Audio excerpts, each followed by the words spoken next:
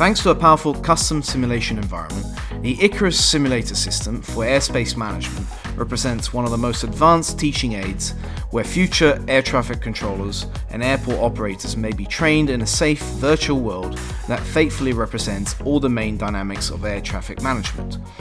The Icarus simulation system is based on a network of stations that share the same simulation, participating in an active and specialized manner. The instructor station manages the entire simulation through various functions and commands that can be activated quickly and, intuitively, such as managing weather conditions, positioning aircrafts by entering their information, taking direct control or assigning command to pilot stations, creating or saving exercises, displaying the surveillance radar tower, and even rewind or pause the simulation. The 3D Control Tower workstation offers a panoramic view of the virtual environment via three monitors, TVs, typically 50 inches or larger, allowing the student to observe the entire panorama at a glance. It is possible to equip this station with a picture-in-picture radar in a superimposed window, or with a dedicated monitor, runway light control and flight progress strips. The introduction of virtual reality, VR, gives this workstation a realistic immersion and makes the simulator up to date with the current trends and with new innovative ways of teaching. The pilot stations can be multiple, offering students the possibility of controlling one or more aircrafts through the use of onboard instrumentation, real and customer programmable procedures, or directly with a joystick.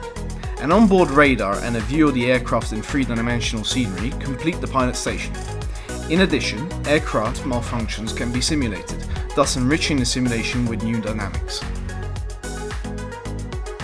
The radar stations were developed in accordance with the instructions provided by the Italian Air Force Airspace Control Training Department, RACSA, making the system as accurate and advanced as possible.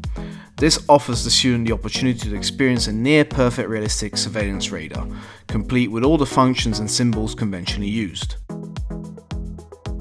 as well as the functions of the management and compilation of the flight progress strips, whilst maintaining the necessary operational didactic simplicity.